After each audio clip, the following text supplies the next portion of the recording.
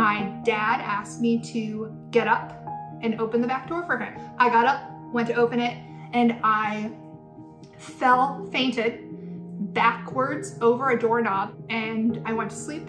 I woke up the next morning. I did not know my name or birthday or combination of the two. Over the next course of a week or whatever, I lost my memory entirely. First two years of college were a nightmare of, I had no previous knowledge of like class info. So finding classes where I could like not immediately fail because I didn't know how to do something was very hard.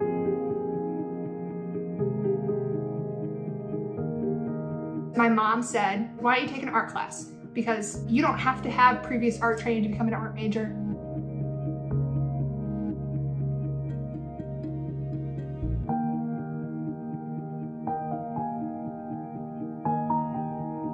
After graduation, my partner, Ryan, who's a photographer, and I moved to St. Louis with Finn. Um, I was working at an art gallery and I was working part-time at the City Museum, which is a very cool place. It's spectacular. It was a dream to work there.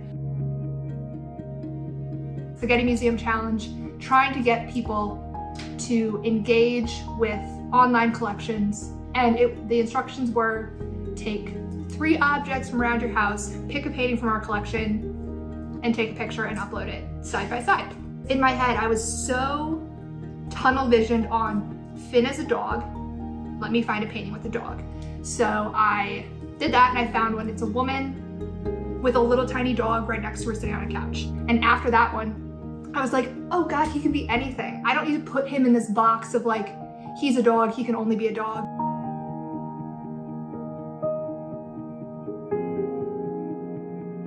He changed as a dog. Giving him a task, him doing that task, and then getting the reward from me of being like, great job, good boy, and then you're all done. He like immediately relaxed and his anxiety diminished over the following weeks.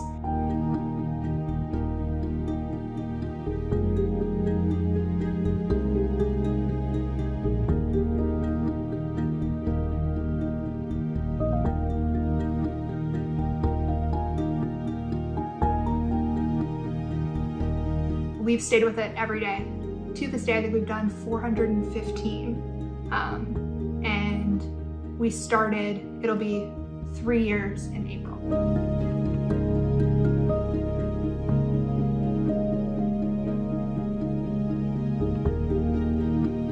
It is beautifully chaotic and extremely exhausting. And he, he stretched and did a little tail wiggle when I said that, so he he wasn't upset. I think he agrees.